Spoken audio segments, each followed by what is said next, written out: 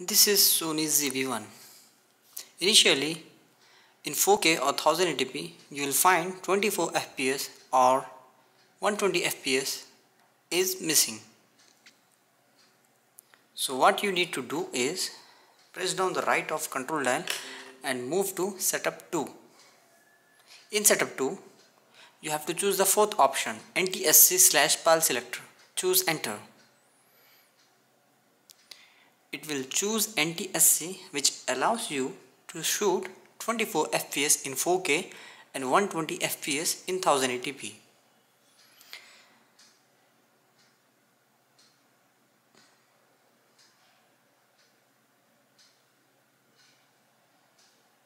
And here we go.